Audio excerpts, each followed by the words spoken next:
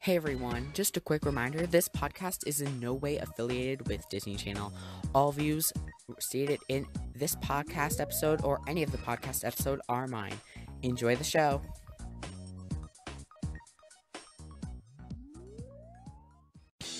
Hey everyone, it's Matthew from That's So Matthew, and you're watching Disney Channel.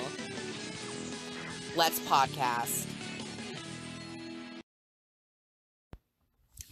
Hello, everyone. Welcome back to That's So Matthew. I'm your host, Matthew, here with Anna. And today, we are going to be talking about Liv and Maddie, which is a Disney Channel show that is pretty prevalent and one of the more recent Disney shows. So I think we should just get right into it. Just a key note Anna is my sister. Yes. So, um, yeah, so Liv and Maddie is a American sitcom that aired on Disney Channel from July 19th, 2013 to March 24th, 2017. So that's over 4 year, almost 4 years, so um pretty successful run for Disney show. Not a lot not Disney shows do not usually get this many episodes just because they don't um they're pretty um have a, something called the 65 episode rule which is pretty much only prevalent in the older shows um they which stopped after a while i think like lizzie mcguire phil of the future and even stevens and the most recent disney channel show to end with si- exactly 65 episodes is ant farm and i think Bizaardvark is going to end with like 64 episodes so we're going to talk about Liv and Maddie. So we're gonna start talking about some of the characters. So, um, Dove Cameron as Liv and Maddie No. Oh yeah, Liv and Maddie. because um they're twins. So, um, which one do you prefer? Liv, because I feel I can relate more to Liv. Dumb blonde. Take too long to be ready in the morning. And yeah. I think my favorite is probably Liv too. Maddie is um kind of relatable, but very Not. yeah, she's uh, not definitely the complete opposite of me. So then we have um Joey Rooney. What do you think of him? He's weird. I don't like him. Yeah, Joey's kind of weird, but that's like totally um okay if you're weird. I have nothing wrong with you. That that is so such a good quality, I guess you could say. And he's just himself, which is there's nothing wrong with that. So then we have Parker Rooney. What do you think of Parker? Um, when he was younger, he was really cute. Um, but he's like the brother that like that like they he has tunnels under the house, which is like barely even possible. Yeah, this show's pretty um definitely is not very um possible in uh, some aspects of it. So, um what about Karen Rooney? My gosh, she reminds me of my friend's mom, Who? Madeline. Oh, I see. I definitely see it. So, I'm pretty sure Madeline's um, mom listens to this podcast. So, um you remind us of Karen Rooney, which isn't a bad thing. So, Um, but I mean, she's kind of a cool mom. So yeah, Karen's a cool mom. Except for she's definitely got that weird like if my mom was the vice pres- principal of the school, I'd be very very weirded out. very embarrassed and weirded out. Uh, yeah. All right. So then we have Pete Rooney. What do you think of Pete? Um, note he was only in seasons one through three. If anyone didn't notice that, he was not in the fourth season at all. Wow. So what do you think of Pete? Um, definitely a weirder guy. Yeah, Pete is like a weird dad, but he's also the supportive dad, the coach dad, who's like coaching the teams. Which there's nothing wrong with that. Like, go right ahead, do that.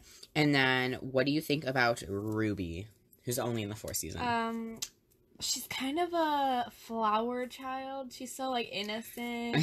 she's so like lighthearted, like you know.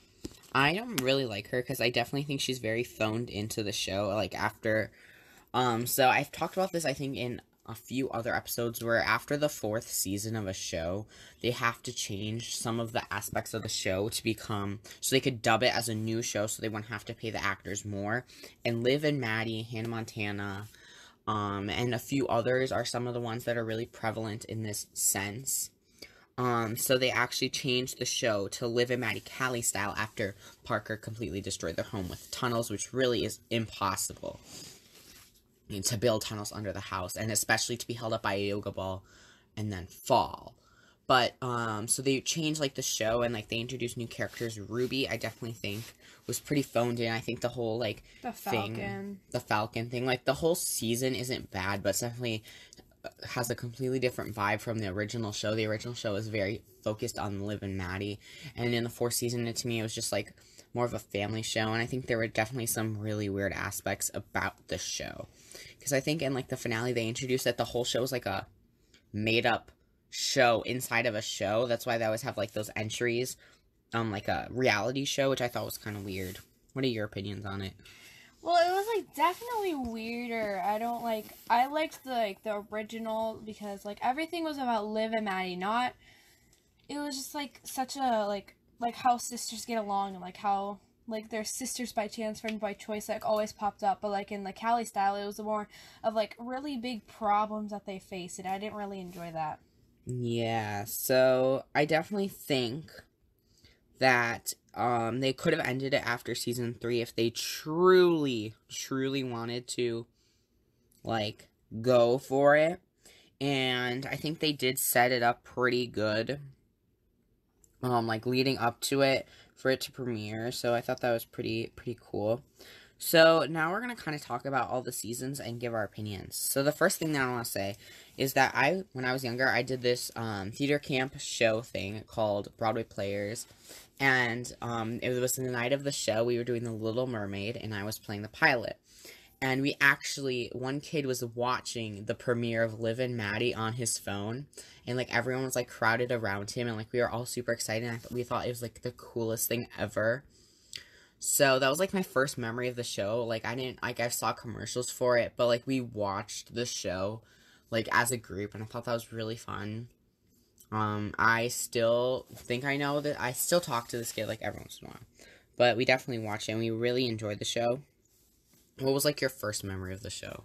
Uh, I remember like I don't even remember when I first watched it, but like I watched it and I really liked it because I liked the theme song and I liked the like the character base and stuff.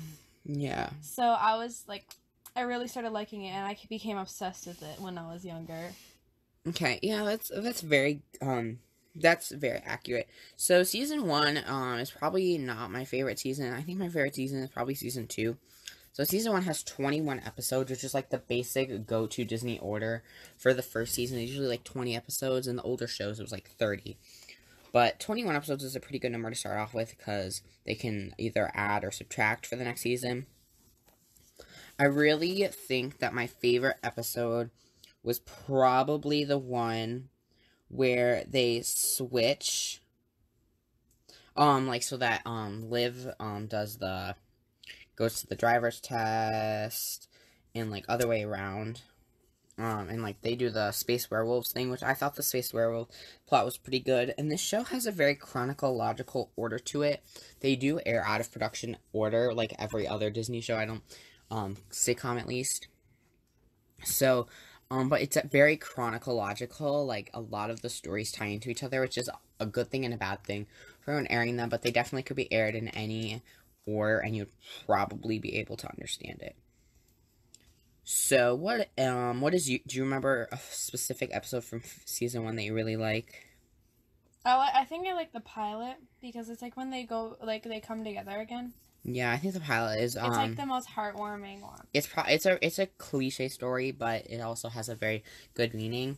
And then also uh, a special guest star that I really want to bring into the show is um Howl O'Rooney is when she gets the role of the werewolf in Space Werewolves, and Laura Marano is in that for What the What Weekend um in 2014. So that was a really memorable um like weekend for me because um that was also the same weekend that Peyton List was in I Didn't Do It, my other favorite show, which we have an episode coming out in I think two to three weeks from this episode. So check it out; it's gonna be pretty lit. So I think that's pretty much like season one is really, really probably like the best, you know, storyline of the um season And also, I want to talk about how unfortunate it was that the people who like doubled as the show, like Liv and Maddie, like the Liv and the Maddie, Mm-hmm. like they didn't really get, like they're they were in every episode, but they were only dubbed as guest stars. So like they were pretty much robbed of like they could pretty much be leads. They did a lot of work. Anna, can you please silence your phone? No. Yes, please. No. So now we're gonna talk about season two. So season two, um, doesn't, um, is probably my favorite season. I don't really know why. If I could t- be totally honest with you, the first episode is the Cheddar Bratfest, and that is like a episode that was so overplayed. Oh Like, I love that episode. I love that episode, but like every single time Liv and Maddie's on, that episode is on. And Liv and Maddie actually still plays on Disney Channel, I think at um 1.30 in the morning. Um 1 to 3.30 in the morning. But if you have Disney Channel West, it is on about 6.30 in the morning. Why can't they play like Hannah Montana or? Uh yeah, so um like um at the beginning uh, like in September they were still playing Austin Ally, which I thought was pretty cool and I would watch that. But they do switch it out every once in a while for an older show. Like they definitely need to do like Hannah Montana, or, like I didn't do it. Lizzie McGuire. any old show. Um Liv and Maddie's been on for a pretty long time and I kinda like to see something else be played. So Disney, if you're listening, that spot. okay, so I think my favorite episode is either the Cheddar Bratfest, which is Premiere a Rooney, or this is a very iconic episode, and Anna will totally understand Kathy Can a Rooney oh my god, because I had a huge crush on Piper Curda. Oh he loved Piper Curda. Oh my god, he was like obsessed. Like I'm obsessed with like Harry Styles and stuff. No, like I was to Oh the next level obsessed. It was Eh. like ten out of eleven. Yeah. No, it was eleven out of ten. I'm like, what? That makes no sense. So definitely, um, one of my favorite episodes. I, it's still on Netflix. It's one of the only Disney Channel shows still on Netflix besides like Bunked, I think. So check it out before they take it off, so that it's gonna go on that new Disney streaming service. I don't know when Isn't that's. that like Disney now or something? no, um, I think it. I don't even think Liv and Maddie's on Disney now. To be honest with you, at the moment, um, but I. Here, s- I can see what shows are still on Netflix. I Kathy Canna Rooney is definitely one of my favorites because Piper Curda, obviously. Um, do you have any one that really sticks out besides like the Cheddar Brat Fest? Not really. That one was like really good. I really liked that one. So the season finale um was um the they had 24 episodes in the season, so they added three episodes, which is pretty decent amount for a show. And they um this is the one episode where um he goes away to live in like the cold place again. I don't know what it's called. Oh, and um she goes to like catch up with him and like it continues which is something i don't think a disney show's done in a while over over a period of time they do not have any Disney shows on on Netflix. Netflix. not even live and maddie I looked up Disney. look up live and maddie it doesn't come up when you do that i think live and maddie and bunked are the only ones still on so Okay, um uh, they have Liv and Maddie, Bunked, and High School Musical 3, that's pretty much and like Zapped. those are like the only shows still on is radio rebel still on Um, Yeah. Okay.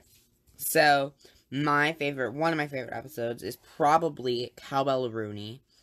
When cowbell, um, where they put the cowbells around their neck, and if you get rung, it's like the big hurrah. Hmm Definitely one of my favorites. Um, I don't really know, um, about anything else in the show that super catches my eye. And then we also have the season finale, which is like the most confusing season finale I've ever seen. The house is ripped like down. Like they knew Mhm. that they wanted to renew the show, but they didn't know where to take it. And I almost noticed that there might have been an extra produced episode that would have aired if they didn't get renewed. Because definitely they could end the show with the house being completely destroyed. Honestly. They could have just left the house. they could have, um, but I just think Disney they they they're smarter than that, especially um if they want to continue on. So then we have the fourth season, which is the weakest link of them all. I think we can both agree on that one.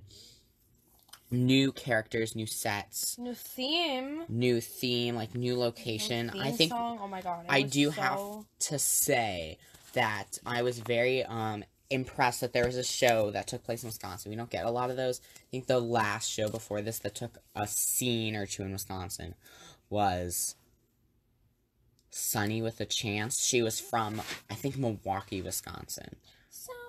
So great, but Sunny with a Chance will definitely be covered in another episode. So you guys should follow my podcast on Spotify and favorite it on Anchor, so you guys can check it out whenever that comes out or whenever I can get someone to talk about it. So this um season starts with um them realizing that them and Ruby are like sort of sisters, and I guess in a way they tried to make Ruby their third sister, which kind of was defeated the point of Liv and Maddie. It wasn't called Liv and Maddie and Ruby. It was Live, Liv and Maddie, and I definitely think that they had their best intentions to continue the show, um, to reboot it in a way. But definitely, I think we can all agree it was a thumbs down from both of us as a fourth season. That was a, not the best way. Not the best way to go, in my opinion. And then one of my favorite episodes in the season that I will watch is the Linda and Heather episode. Oh my god. It's probably my favorite episode of the show. Um, so it's the one where um Liv tries to get an audition for Liv or Linda and Heather, and she gets it, and like apparently like they fight all the time with their guests and they scare them away. And Liv is doing so good, and then she starts a giant fight, and then they like start to make a spin off with Parker like on the show. Like it was really weird after they both quit, but it's definitely probably one of my favorite ones. And then all of a sudden they introduced yet another storyline of the show for the California, which I think the only reason they moved to California to begin with was to make a spin-off of Sing It Loud, to make Sing It Louder. Sing it loud. And every time she I thought it was bad when she sang it, um, when it was Sing It Loud.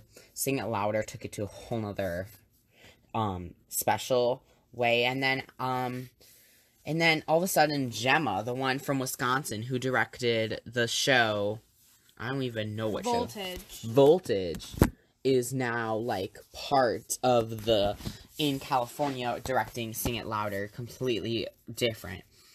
And then even in some of these episodes, Johnny Nimbus is in it, which makes no total sense at all. At all.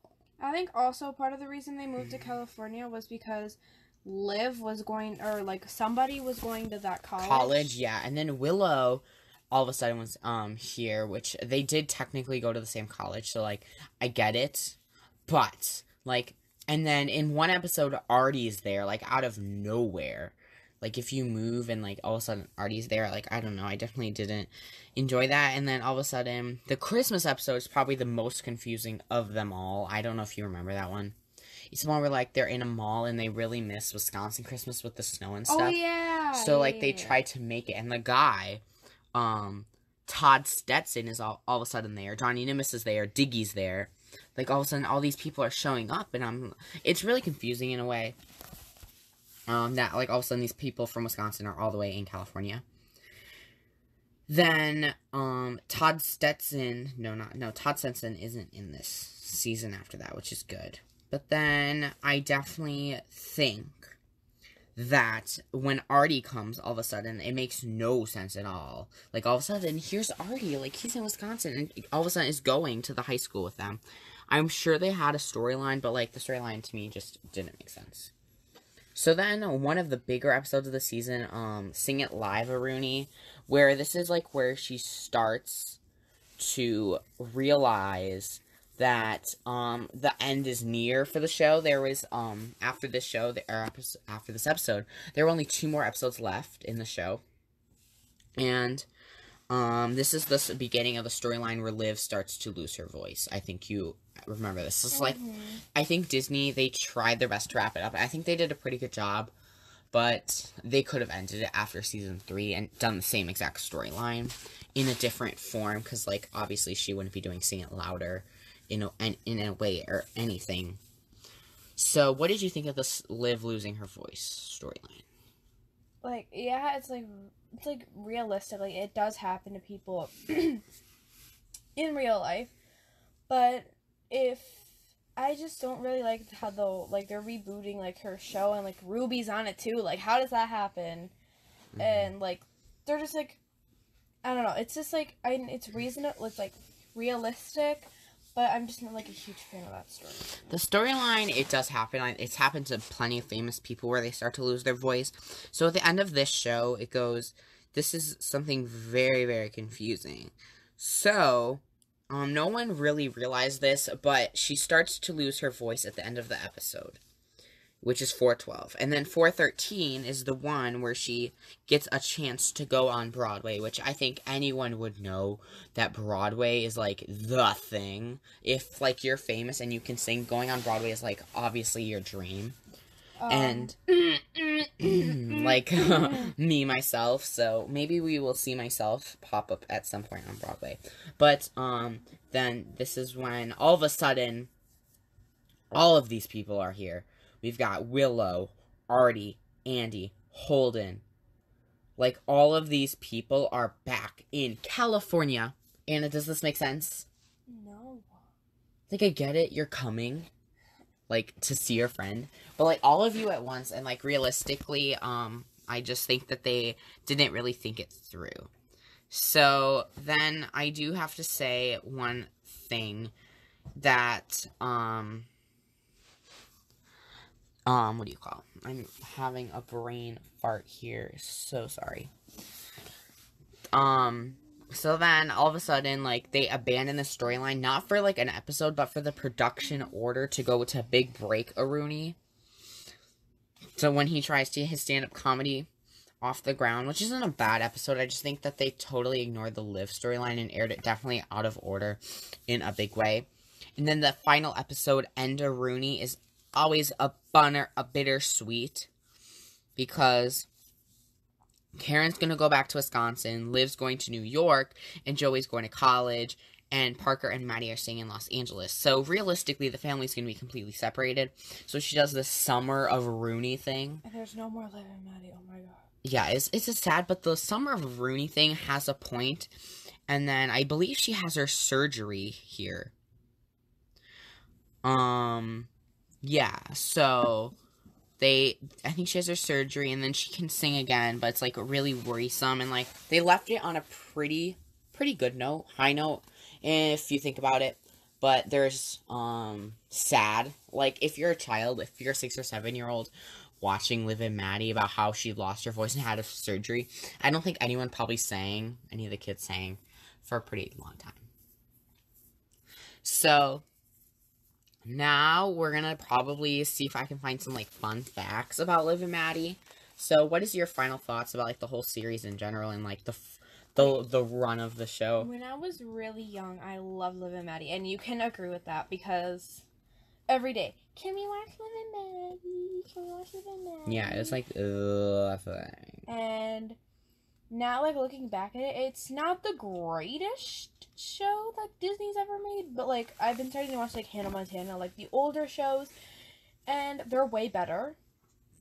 And I feel like just like the way they like ended it with like family splitting up and like Liv and Maddie aren't going to be together anymore. It's the whole point of the show, Liv and Maddie, not just Maddie or just Liv. It's Liv and Maddie. So like It's it's one of the Disney shows that features twins, so obviously. So now we're gonna do some fun facts that people might not know about Liv and Maddie. So this is a pretty obviously one, a pretty obvious one. Is Liv's full name is Olivia Rooney. Um, she um is a actress, singer, and student.